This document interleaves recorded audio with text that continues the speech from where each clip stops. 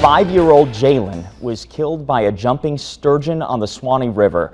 That's her on the right in this picture on the family's GoFundMe page. Her mother and nine-year-old brother were also hurt and might need surgery. FWC says it's the first time someone has ever been killed by a sturgeon on the Suwannee River, but now we've learned two more people were hurt Friday night by another sturgeon strike, this time on the Santa Fe River north of Gainesville. Both are in the hospital.